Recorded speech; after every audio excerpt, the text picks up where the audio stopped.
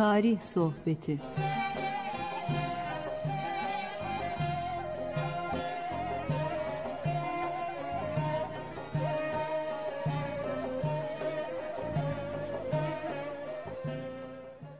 Merhaba kıymetli dinleyenlerim.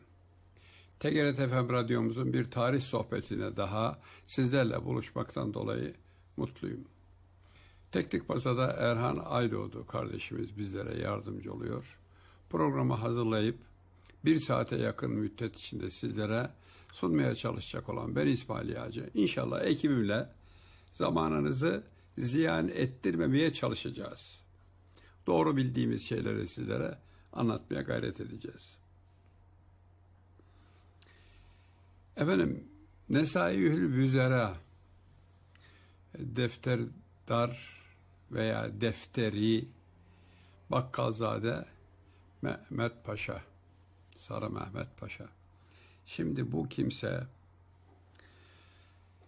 devlette uzun süre Maliye Bakanlığı yapmış. Yani defterdarlık yapmış. Maliye Bakanı.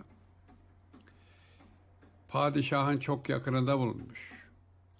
Hazinenin ödeneklerinin kullanılmasında bulunmuş. Şimdi oturmuş bir de kitap yazmış efendim.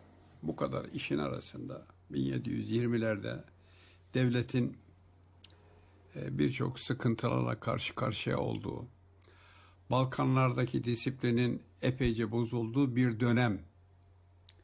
Osmanlı düşmanları da karşımızdaki bu kötülükleri yapmaya çalışanlara devamlı yardım ediyorlar. Şimdiki gibi. Vezir-i Azam nasıl olmalıdır diye anlatıyorduk bundan önceki haftadaki sohbetimizde. Oradan devam ediyoruz. Devlet adamının vasıfları efendim. Sade vezir azam değil. Devlette görev alan herkes, her memur, askeri memurdan ayırmış efendim. Asker memur olmamalı, memur da asker olmamalı. Asker reayadan yani çift çubukla uğraşan kimse olmamalı. Evet, reaya da asker olmamalı. Askerin psikolojisinin tamamıyla çok farklı bir yere oturmasını istemiş ve öyle oturduğu zamanda da Yeniçeri Ocağı 250 sene şan ve şerefle Avrupa bozkırlarında efendim at koşturmuş. Başarıdan başarıya koşmuş. Öyle olmayıp da bakkal yeniçeri, manav yeniçeri, yoğurtçu yeniçeri olmaya başlayınca iş karışmış. Arkadaş esnaf olamazsın diyor. Mehmet Paşa. Evet. Devlete ait sırlarda padişahla görüştüğü işlerde gayet ketum olmalı diyor vezir azam. Ya ben devletin en üst kademesinin e, sırlarına vakıf oldum. Bir değişik bir heyecandır insan için. Bunu birileriyle paylaşmak için şeytan dürter. Ya hanım işte bak ben böyle mühim bir adamım falan diyebilmek için hanım anlatmaya kalkar ama kimseye söyleme ha. O da başka birine anlatır. Aman ha kimseye söyleme. Kimseye söylemeyle herkes kimseye söyleye, söyleye, söyleye herkes duyar. Onun için devlet sırlarını vezir azam ne kadar öğrendiyse kendine kalır. Kalması lazım. Eğer o sır kalmaz da bundan dolayı da bir Müslüman zarar görürse, binlerce Müslüman ölürse o binlerce Müslümanın katili o vezir olur. Sırrı saklayamayan olur. Prensip olarak buyuruyor ki kitabında padişahlara karşı padişah devletin en üst idaresini temsil eden bir kelime. Onun ismi, o kimsenin ismi. Kim olursa olsun padişah. Ondan sonra ondan sonra merdiven yok. Merdivenler orada bitiyor. Düzlük var orada. Oradan ne olur? İnilir de ama ekseriyette düşülür. Padişahlara karşı hizmetin en büyüğü ya ben padişahımın duasını almak istiyorum. Padişah duası peygamberin ümmetine duasına benzer. Çok kıymetlidir. Barbaros Hayrettin Paşa söylüyor. Efendim. Der ve sırrı saklar. En büyük hizmet. Bir başbakanın önceki dönem idaresinde en büyük hizmeti Cumhurbaşkanı ile arasındaki meseleleri öldürecek olsalar dahi paylaşmaması lazım. Öyle devlet sırrı. Yani ne yapayım ki ben tarih anlatıyorum efendim. Tarih sohbetindeyim. Şimdi önceki başbakanların aynı çatının altında yıllarca bulunanların yıllarca binlerce sır paylaşanların yardımcıları, başbakanları şu anda neler yapıyorlar efendim? Onlar zannediyorlar ki ben padişahla yani padişah değil şu anda başımızdaki cumhurbaşkanı cumhurbaşkanı ile aramızdaki konuşmaları şöyle acık uyucundan kıyından söylersem kimse sokakta gezemez diyor. Sen mi gezersin? Herkes sokakta gezer. Çünkü o devletin o aldığı kararların hiçbirinde kesesine para doldurmak, partisine oy kazanmak yoktu. Memleketin savunması gayreti vardı ve ondan beklediği sevaplar vardı. E sen şimdi bu sırrı ne için paylaşmaya kalkıyorsun? Ya oy alayım da ben iktidara geçeyim. Millet bir görsün bakalım Cumhurbaşkanı nasıl olurmuş falan. Yazıklar olsun ya. Böyle vefasızlık olur mu? Amerika'da başkan yardımcılığına seçilmiş olan adam ya diyor odunun birisi diyor. E odun seni seçmiş.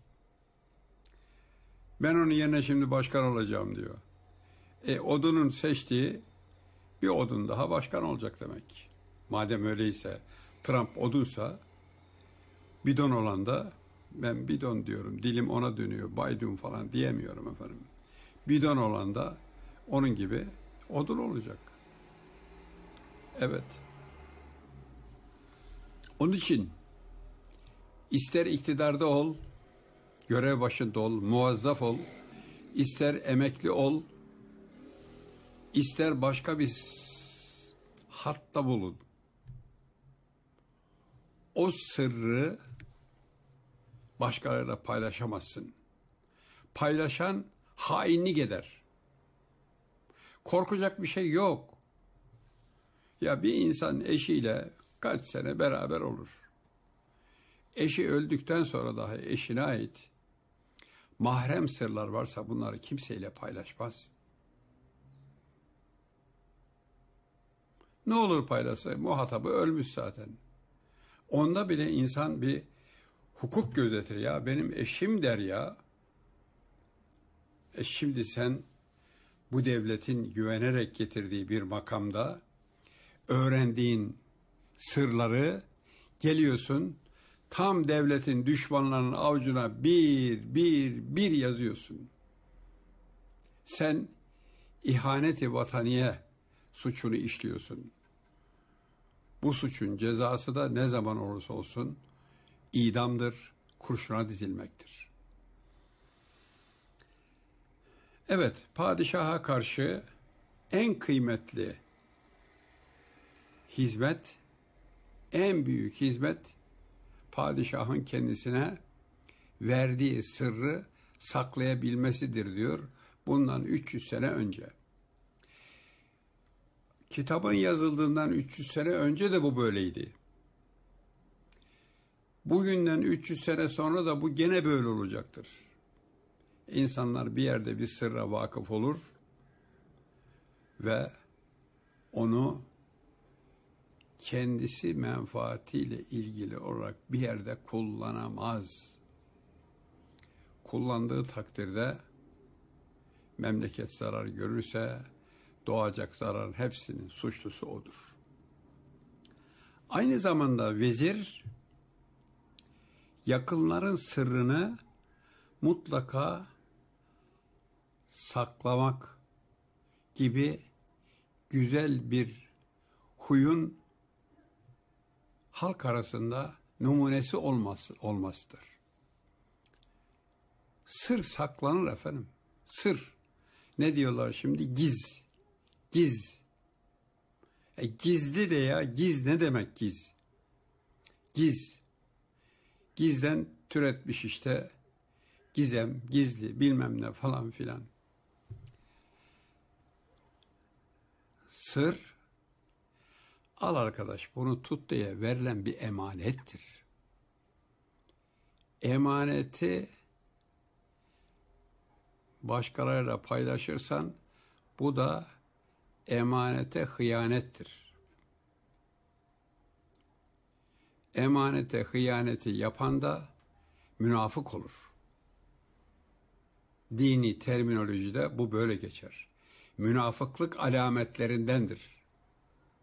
Emanete hıyanet etmek, bir sözünde durmamak, ya boş ver ya beklesin biraz daha ben iki buçukta gelirim dedim ama nerede iki buçukta herhalde geçelim sen boş ver ya gel bir çay daha içelim de ondan sonra gideriz falan. Hayır hayır hayır hayır. Biz rahmetli büyüklerimizden hep bunu gördük. Saate uyanı taltif ederlerdi. Maşallah derlerdi. Saate uymayana da neredesin kardeşim demezlerdi. İşte büyüklük burada başlıyor. Ya efendim ben de çok merak etmiştim. Keşke bir telefon ediverseydiniz bir yerden. İşte büyüklere has tavır budur. Biz şimdi karşımızdaki hele bir de bizim aslımızsa, biz amirsek, o memursa bir açığını bulduk mu? Allah! Debbağın deriyi çiğnemesi gibi çiğniyoruz adamı. Kaldırıp kaldırıp yere vuruyoruz. Kaldırıp kaldırıp yere vuruyoruz. Peki yarın sen de insanlık icabı bir kusur işlersen, bir ihmalde bulunursan ne olacak? O da onu vuruyor. Halbuki birisi böyle affedici olsa veya kibar davransa, biz de böyle mesleğimizi e, icra ederken içtima yerine falan geciktiğimizde efendim e, çok kibar davranan bazı üstlerimiz çaktırmadan şöyle sol kolundaki saate bakardı. Ama bir insanı oradaki neferlerin önünde 100, 150, 200, 500 kişinin önünde ezmek istiyorsa eğer şöyle sol kolunu kaldırır, büyük bir kavis çizerek gözünün önüne getirir, saati de kendine çevirir, bakar. E çek vur bari adamı ya. İnsan hata etmez mi? Eder. Sen şimdi bu hakaret ederek neyi sağlamaya çalışıyorsun? Bir daha gecikmesin. Tamam. Disiplini sağlasın. Peki bunun yolu bir tane bu mu? Yani hata etti çek vur. Hata etti çek vur. Onun yerine bir toplantı eksik olmaz. Bir toplantıda efendim bazı arkadaşların herhalde böyle bir şeyi var. Ee, bir rahatsızlıkları falan var. Aman arkadaşlar dikkat edelim de birbirimizi bekletmeyelim bu. Hak hukuk meselesidir falan desen ama efendim bu meslek askerlik mesleği öyle kibarlık kabul etmez. Ya ya yanındaki Arkadaşım mermiyi yemiş, kelime-i şehadet getirmeyi aklına getiremiyor. Ölüm şeyiyle sen ona nazik nazik kelime-i şehadet getireceksin. İnsan diğer canlılardan benzer tarafı da var, farklı tarafı da var canlılara. İnsan da diğer canlılar gibi yumuşaklıktan çok hoşlanır. Allahu Teala yumuşaklıktan hoşlanıyor. Yumuşaklıkla yapılan işi sertlikle yapamazsınız. Yumuşaklıkla yapılan ikaz, uyarı sertlikle yapılandan daha kalıcı olur. Ve buna severek uyulur. Ötekinde ise ya bir bahanem olsa da gitmesem şu Nemrut adamın yüzünü görmesem falan dedirme koşuna mı gidiyor ya? Bir adama 40 gün deli dersen deli olur efendim. Evet. Kendi sırlarını da ihtiyaç olmadığı müddetçe sadrazam, vezir kimseye açmamalı. Hiç kimse sade vezir azam değil, sırlarını mecbur olmadan kimseye açmamalı. Sırrını gömleğinin yakasından sakın buyurmuşlar. Diyeceksin ki bu söz söylendiğinde gömlekleri yakasızdı. Ya orada yaka ya. Yaka. Ama şimdi ya ben işte bak Osmanlı kıyafeti giyiyorum diye piyasada bolca bulunan diğer yakalı Avrupa'dan gelen Frank gömleği diyorlar zaten. Frank gömleği. Gömleği. İyi Frank gömleği de arkadaş. Bunu Müslümanlar giymiş mi? Giymiş. Bitti Müslüman adet oldu ya. İki Müslüman Frenklerin adet olarak yani Müslüman olmayanların diyelim, Frank demeyelim de, Müslüman olmayanların adetlerinden dine zarar vermeyen, inanca müteallik olmayan bazı şeyleri çatal kaşık kullanmak, masada oturup yemek yemek gibi. Bunları iki Müslüman işlerse üçüncüsü için artık o Müslüman adetidir. Onu kullanmakta dinen hiçbir mahsur yok. İlk ikisi Müslümana ait olmayan bir şeyleri kullandığı için acık belki kulağa çekilecek ama diğerlerine hiçbir şey yok. Müslüman ilim yiti, yitidir Müslümanın. Bulduğu yerden alsın buyruluyor efendim. Bulduğu yerden alsın. Evet. Şimdi illa o gömlek. Ya kardeşim bu gömlek milyonlarca dikiliyor, satılıyor, eskiyor. Evinde belki gardırobunda 10 tane gömleğim var. E ama efendim şimdi ben yakasız gömlek yani ben tasavvuf musikisi yapıyorum. Ne? Tasavvuf musikisi. Yapma ya. Tasavvuf musikisini yaparken şöyle e, bardaklara da maşrabalara da bir şeyler doldururlar mıydı acaba ya müzik musiki dinlerken? E, tabii canım yani olabilir. Ya, ya tasavvuf tekkesi değil, tasavvuf meyhanesi hayal ediyor bunlar. Tasavvuf müziği. Bu ne? İbadet yapma ya. Yani oyun olarak allah Teala bize ibadet emretmiş mi ya? Haşa. Yok canım onu demek istemedim. E namazı da böyle dans ederek mi kılacağız yani? Bir atasözünü hatırlatıyor. Defterdar Paşa, Bakkalzade Paşa. Bir söz ki iki dudak arasından çıkmış ise elbette herkese yayılır. İnsan boğazı dokuz boğumdur derler. Ağzından çıkacak söz yani dokuz tane merdiven basamağı var ciğerden itibaren. Dilin ucuna kadar. Her boğumda kontrol edilmiş mi? Bunu söyleyeyim mi? Bunu söyleyeyim mi? Bunu söyleyeyim mi? hepsi de dokuz boğumdaki nöbetçiler de onay verirse onu söyleyin buyuruyor. Yoksa aha ağızdan çıkanı kendi duymuyor. Efendim sözünün peşinde koşuyor. Rüzgara vermiş ağzına. Koşuyor da söylüyor da, koşuyor da söylüyor da. Ne söylüyor, ne söylüyorsa söylüyor. İnsanın ağzından çıkan söz, cebinden çıkan bir paradan başka bir kıymetli eşyadan çok daha kıymetlidir. Söz. Onu sen çıkarırken bunun bir de hesap olduğunu düşüneceksin. Ya abi işte geyik yapıyoruz be. Ne geyiği arkadaş, ne geyiği ya. Geyik yapanlar ne oldu? Niyazi Mısri bu geyiğin peşinde koştu. Bana Allah gönderdi bu ilahi bir vesiledir diye Manastır dağlarında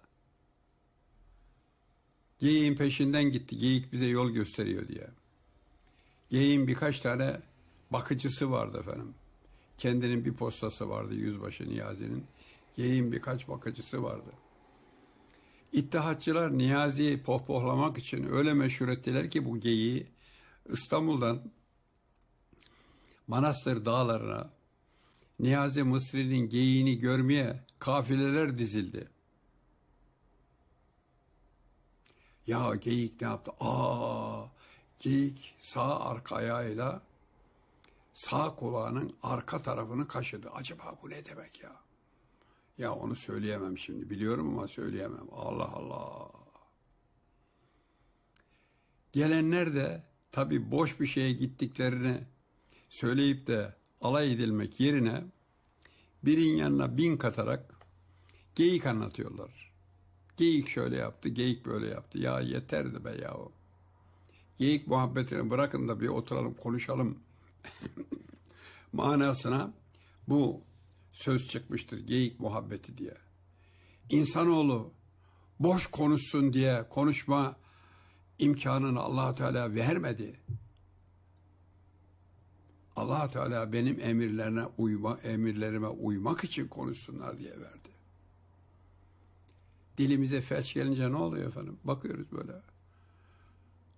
Kafayı oynatıyoruz. Kafayı oynatamazsak kaşı oynatıyoruz. Hadi konuş. Sen sahnelerin bülbülüyüm diyordun. Konuşsana. Sana konuşma dediler. Bitti. Bitti. Öyle bakıp duracaksın. Evet. Elbette ki herkese yayılır. Yani sen aman bak bu aramızda sır, bunu kimseyle konuşma lütfen. Dediğin an o sırrı ona verdiğinde bil ki o da senin pazarlık yaptığın gibi biriyle pazarlık yapacak başka birine söyleyecek. Yani herkese duyulur hale gelecek. Evet Fatih Sultan Mehmet Han 21 yaşında padişah oldu. ikinci padişahlığı. Tabi devlet adamları da ikinci Murat Han'dan kalma Çandarlı Halil Paşa dahil çok devlet tecrübesi olan bu yolda saçını başını ağartmış insanlar biraz böyle padişahı e, tecrübesiz mi görürlerdi, yavşak mı görürlerdi bilemiyorum. Zaman zaman ufak tefek e, yoklamalarla padişahın neye karar karar vermek istediğini çözmeye çalışırlardı. Padişah da bunlarla bazı sırlarını paylaşır, bazılarını paylaşmazdı. Onlar da isterdi ki ya biz bu devletin en üst kademesindeyiz, veziriyiz, vezir azamıyız. Hepsini bize söylesin. Biz resmin yarısını, dörtte birini görüyoruz. Dörtte dördünü görelim. Bir iki böyle ima yapınca buyurdular ki, benim sırrıma şu gördüğünüz sakalımın bir telinin vakıf olduğunu bilsem benim sırrıma sakal benimle yatıyor, benimle kalkıyor. Her tarafa benimle gidiyor. Seferlere benimle gidiyor. O sakalın hepsini yola atardım buyurdu. Aa, dediler ki ya bu arkadaş daha yumurtanın içindeyken bu hareketlenmiş civ civ civ demeye başlamış. Evet çekirdekten yetişme devlet adamı böyle olur. Ben bugün yatacağım, yarın kalkacağım, milletvekili olmuşum. Yatacağım, öbür gün kalkacağım, bakan olmuşum. Eh, bir daha yatacağım, kalkacağım, aa ölmüşüm. Oh, hızlı yaşa, genç öl, cesedin yakışıklı olsun. Şu söz mü Allah aşkına ya? Bir insana yakışacak söz mü ya? Yani insan gerisinde bir yakışıklı ceset mi bırakacak ya? Bırak cesedin paramparça olsun. Ne yolunda öldüğün belli olsun yeter. Sana şeref kazandıracak ne için öldüğündür. Neden öldüğün değil, ne için öldüğündür. Orada o sorulacak. Evet kıymetli dinleyenlerim bu bölümdeki süremizi bir iki dakikada geçmiş olduk. İnşallah sohbetimizin ikinci bölümünde beraber olacağız. O da az sonra efendim. Bizim az sonralarımız hakiki az sonradır. Çakma değildir.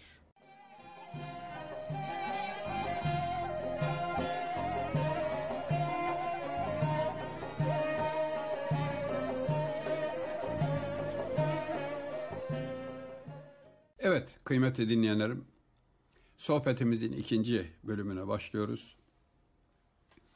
Defterdar Paşa'mızın anlattıklarını Nesaihil Üzera kitabından böyle yarım yamalak cümlelerle sizlere aktarmaya çalışıyorum. Sır saklama çok mühimdir. Nerede insan var, orada sır vardır. Orada sır saklama da olmalı. Dinimiz buyuruyor ki, başkalarının ne yaptığı için tecessüs etmeyiniz. Yani meraklı olmayın. Nasılsın abi? İyiyim. Ya ne yapıyorsun sen bu korona zamanında falan? Ya iyiyim. İyiyim.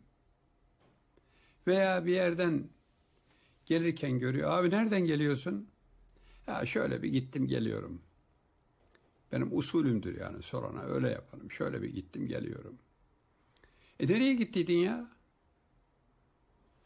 Ya işte bir tarafa gittiydim falan. Baktı gene çıkmadı. E ne zaman gittin? Ya işte bilmiyorum saate de bakmadım yani. Böyle diye diye diye efendim insanın ya ne lazım? Belki sana söylemek istemiyorum. Onun için de ben görüyorsun ki üstü kapalı geçiyorum. E sen de buna riayet et. Seni de merak edenlere paylaşma. İnsanoğlu.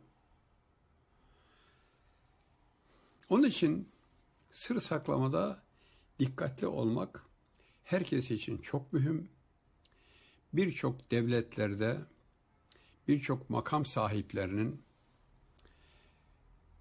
koltuklarının alt üst olması, tahtlarının devrilmesi, ailelerin parçalanmış ailelere dönüşmesi, insanların çocuklarının ana baba gözetiminde olacağı çağlarda sokaklarda sokakta yaşayan diğer canlara benzer bir hayat sürmeye mecbur olmalarının hepsinde birbirinin sırrını öğrenip bu insanlara kötü davranmaktan geçer. Hiç kimse kimsenin kimsenin sırrını araştırma hevesinde olmamalı.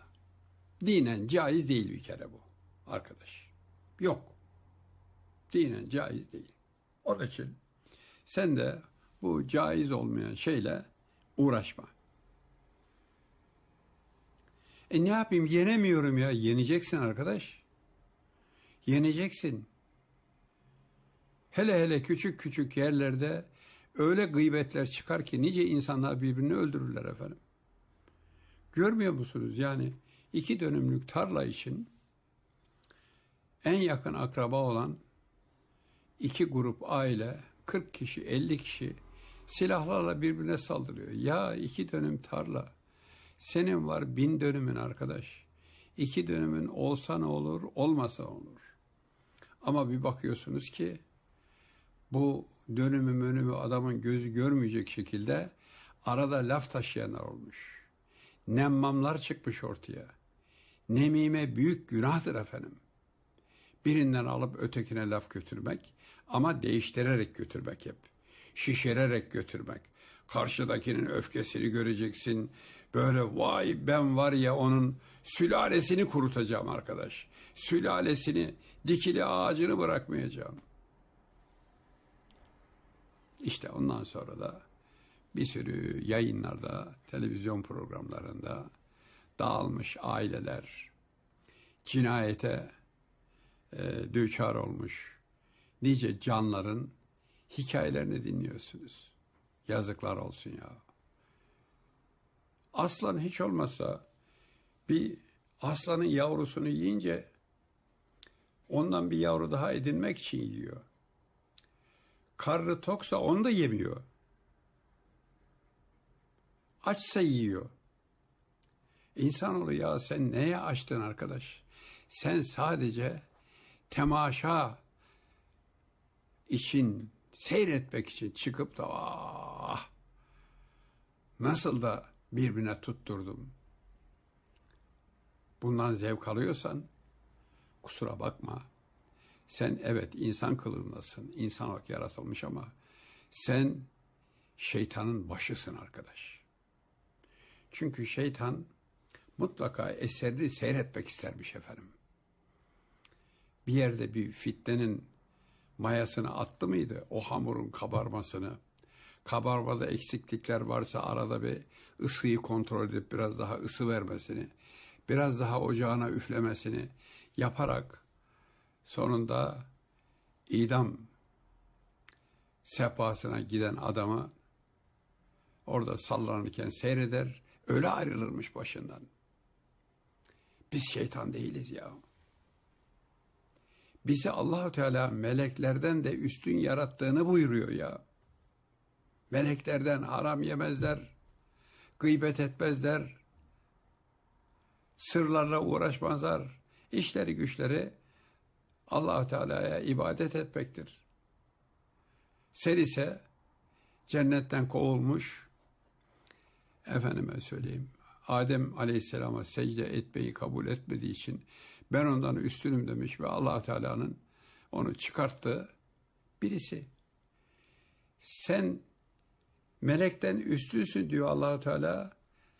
Melekten melekle kıyas edilmeyecek kadar alçak olan allah Teala'ya karşı yani yaratanına karşı isyan eden kimselerden oluyorsun ya. Ne geçti eline arkadaş? Velev ki bir şey geçtiyse o sana zehir zıkkım olur. Sen iki kişinin birbirini öldürmesine sebep oldunsa senin malının başında ailenden 12 kişi öldürülür. Peki bunları nerede öğreteceğiz? Bu sır meselesi, devlet idaresi, devlet memuru nasıl olmalı, vasıfları, KPSS'de bunun soruları var mı kıymetli dinleyenlerim? Bence yok. Bence yok. Olmalı mı? Bu olmalı ya. Bu olmalı ya. Şimdi adamla mülakat yapıyorsun. Mülakatta işte nereye mensuptur, filanla bulaşığı var mıdır yok mudur falan. Doğru. Doğru. Sahtekarlarla bulaşığı varsa, hainlerle bulaşığı varsa elbette ki onu almayacaksın. Ama bu adam devlet adına bir bankoda bir sandalyeye oturduğu zaman vatandaşa ne gözle bakacak? Ee, ben devletin kanunlarının uygulayıcısı oldum. Hadi bakalım İsmail, göster kendini. Efendim şu evrak. Kardeşim, bu evrakın tarihi nerede? Ya atmamış mıyım? Kardeşim al bunu Allah aşkına ya. Git tarihini at da gel. Allah Allah. Ya tarih nihayet yazılacak. Kardeşim şuraya yazıver. Ama bir daha dikkat et ha. Demek ne kadar güzeldir. Adam sana dua ede ede o tarihi yazar. Öbür tarafta da sıradaki gel sen, sen gel. Ya siz de ya, siz de ya devletin memurusun. Sizde de o da sana siz desin. Devlet memurunu bu şekilde eğitip de bankoya koyarsanız devletin şanı yücelir. Devlet müşfik olur, laşka olmaz. Enseye tokat olmaz ama vatandaşın karşısında da eli kırbaçlı bir despot olmaz. Arkadaş, yok ödeneğe gelmemiş bunun baktım. Ödeneğe gelmemiş. Ya müteahhit adam masraf etmiş. Geliyor levazımata veya saymanla şu diyor benim hak ediş şeyim var bunu bir e, bakar mısınız falan. Ödeneğe gelmemiş. Bakayım ödeneğe gelmemiş mi diyemez o adam. Yetkisi yok. E sen yalan söylemekte de serbestsin. Yani vicdanınla baş başasın. Ama o yalanın da hesabını vereceksin. Hem de çok acı vereceksin ya. O adama doğru söyle ya. Münakaşa edecek olsa da doğru söyle ya. Yoksa karşında birisi gelmiş böyle car car car car car ya şunun çenesinden kurtulayım diye işini yapıyorsun. Öbür tarafta boynunu bükmüş bir dul hanımefendi gelmiş. Devlet kapısına işi düşmemiş ilk defa gelmiş. Kağıdı verirken eli titriyor. Sen de bu kadına bir görünüyorsun. Olmadı. Kocaman böyle kristal bir köşkü paramparça ettin. Bunun yapıştırıcısı yok. O kırıldı. Öyle falan yapıştırıcıyı getireyim en kuvvetlisi budur falan. Bitirdin. Bitirdin arkadaş. Bütün devlette çalışanların böyle bir eğitimden geçmeleri şart. Efendim bu kadar okul okuttuk ya doğru. Ama sorarım ilkokulun ilk dörtlüğünde bunu okuttuk mu? Huy edindirdik mi? Efendim sıraya geçmeyi, başkasının hakkını falan edemedik be ya. Ben okurken edemedim yani. Böyle bir eğitim almadım, alamadım. Kurşun kalemimiz kırılırsa öğretmene koşa koşa giderdim. Onun çakısı vardı, onu açtırdım. Kalem tıraşı yok.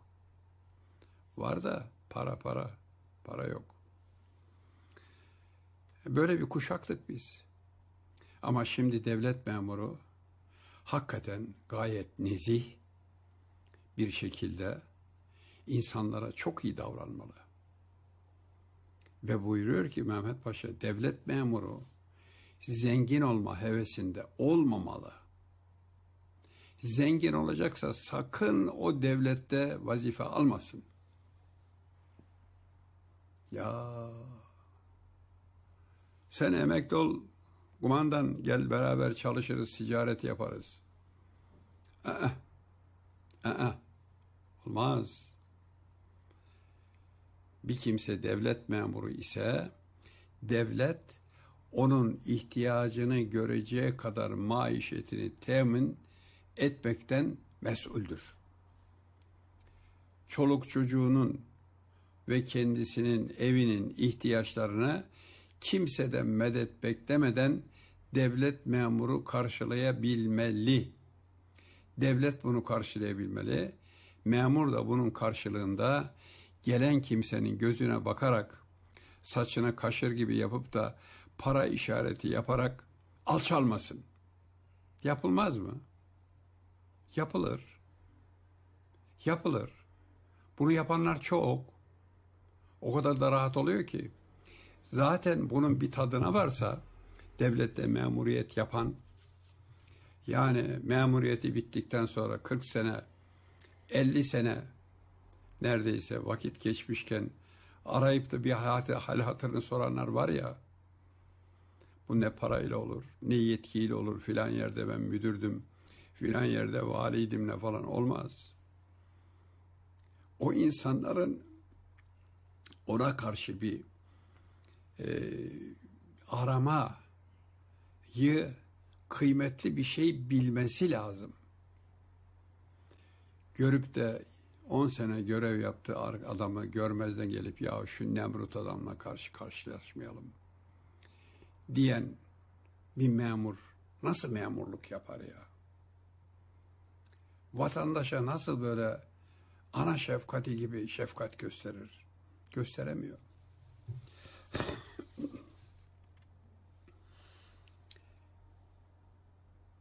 İslam padişahı hazretlerine gerek büyük vezirleri, gerek, gerek bütün halk duacı olmalı.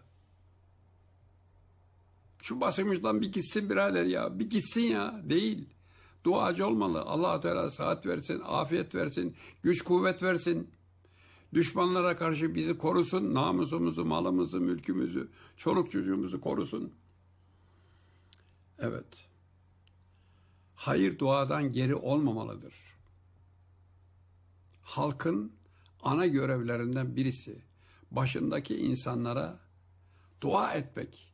Bizim için o sıkıntılı makamlara geliyorlar. Gece uykuları bölünüyor. Telefonları başucunda. Öyle mi yapıyorlar? Yoksa ben bunu bugün nasıl kızdırırım? Bugün gündeme neyi alalım? Ya dünkü laflara bir bakın oradan bir cımbızla bir şey çekin de ben şunu bir kudurtayım. Ya böyle devlet olmaz, böyle devletin vatandaşı olmaz ya. Olmaz arkadaş. Yani bir evde saadet paramparça olduysa o kadınla erkeğin o evi paylaşması uygun değil. Her ikisi de o evde bulunmaktan ümidini kesmiş. Başka bir eve gitsinler ya. Ayrı ayrı evlere gitsinler. İkisi de o evi terk etsinler. Ama bu vatan kardeşim. Bu vatanı terk etmeye kalkarsın. Kalkabilirsin. Serbest gidersin bir yere mülteci olursun. Ama bu topraklarda yaşadığın günlerin borç faturası çok ağır. Bir milyon şehit var. Birinci Dünya Harbi'nde bu topraklar için ölen o bir milyon şehidin iki eli yakanda olacak.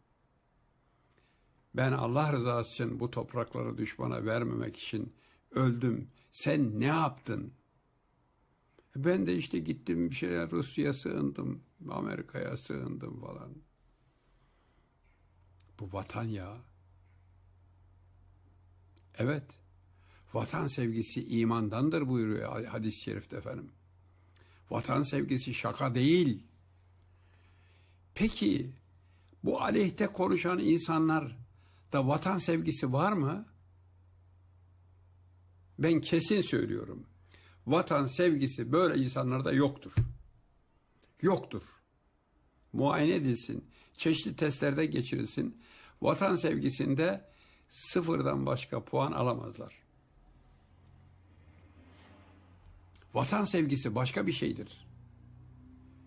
İşte 15 Temmuz'daki olan hadisede sırtındaki gömleğini çıkartıp tankın egzozuna tıkayan adam, tankın paletinin altına yatan adam, üzerinden 48 tonluk tank geçerken dimdik yatan adam, bu vatan sevgisidir efendim. Bu filan filan filan adam sevgisi değil, vatan sevgisidir. Aman bu vatan elden gitmesin. Şimdi ise devletimiz dış düşmanlarla uğraşırken maalesef içteki düşmanların çeşidi de fazla, sayısı da fazla ya. Niye böyle olduk? Bilmem ki niye böyle olduk. Olmuşuz işte. Olu vermişiz. Halbuki kitapta buyuruluyor ki devletimizin başında olanlara daima halk hayır dua etmelidir. Efendimiz Aleyhisselatü Vesselam hadis-i şerifinde buyuruyorlar ki sultana sövmeyin. Çünkü o yeryüzünde yaratanın gölgesidir. Şimdi bu sözü duyan böyle dini terimlerle de fazla ilgisi olmayan, din deyince böyle acık tüyleri falan diken diken olan insanlar görüyor musun ya? Padişahlar kendisini Allah'ın gölgesi ilan etmişler. Niye? Niye ettiler acaba? Ya tabii kendilerinden korksunlar. Kendileri haremde yesin, içsin, her türlü zevki sefayı tatsın ama halk hiç sesini çıkaramasın. Acaba öyle mi? Acaba öyle mi? Yeryüzünde gölgesidir ne demek? Topkapı Sarayı'nın birinci avlusuna girerken çeşmenin yanından Babı Hümayun diye bir kapıdan girilir. Devlet kapısı. Bu kapının bir sağında bir solunda dikine dikdörtgen olarak duvara hak edilmiş, yapıştırılmış, monte edilmiş iki tane levha var. Sağ tarafındaki levhada El Sultan Zellullah fil art. Sol tarafındaki de ya ve ileyhi küllü, küllü mazlumun. Bu bir hadis-i şerifin yarısı sağ tarafta, yarısı sol tarafta. İşte Efendimiz Aleyhisselatü Vesselam hadis-i şerifine bu Mehmet Paşa kitabına böyle almış. Yeryüzünde yaratanın gölgesidir. Yaratanın emirlerinin gölge gibi takipçisidir demektir dedik. Süremizi de doldurmak üzereyiz. Devamını biraz daha söyleyeyim. Bir dakikam daha varmış demek ki. Saate şimdi göz attım. Ya ve ileyhi küllü mazlumun sol tarafta. Sağda Es Sultan Zellullah fil art. Sol tarafta ya ve ileyhi küllü mazlumun. Allahü Teala'nın gölgesidir dedi ya efendim gölge gibi takipçisidir. Bütün mazlumlar bu kapıya gelip müracaat edebilirler demek. Dinli, dinsiz, ateist, Hristiyan, Yahudi, Nasturi, Süryani kim olursa olsun. Kim olursa olsun milletine, dinine, imanına, diline bakmaksın bütün mazlumlar bu kapıya gelip başvurabilirler. Ben hakkımı istiyorum der. Müslümanlar gelebilir denmemiş. Peki bu sözü Efendimiz buyurduklarında işte İslam devletinin başındaki kimsenin kapısına konacak levha bu. Osmanlı da bunu başına tac etmiş. Kirkor da gelmiş, onun da davasına bakmış. Simon da gelmiş, onun davasına bakmış. Ahmet gelmiş, Mehmet gelmiş, onu da davasına bakmış. Sen Kürtsün git, sen Çerkessin git, sen şusun git dememiş.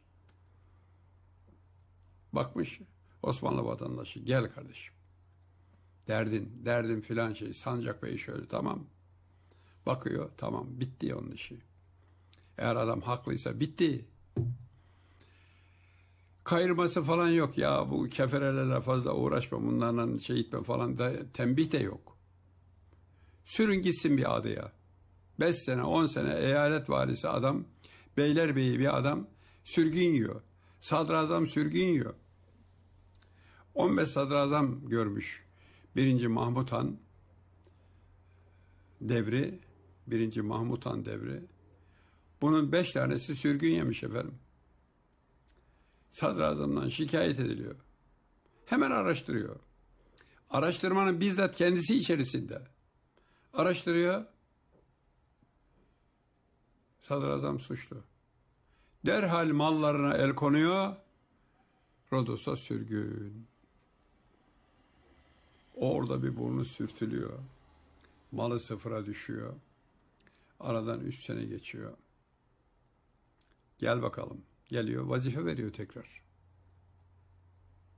Ha, o adam bir daha bu suçu işler mi?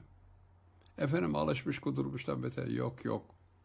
Dersini alırsa alışmış olan da alışkanlıklardan vazgeçiyor. Bugünkü süremizin sonuna gelmiş bulunuyoruz. Biraz da zamanı geçirdik. Yeni sohbetlerimizde buluşmak üzere. Hoşça kalın efendim.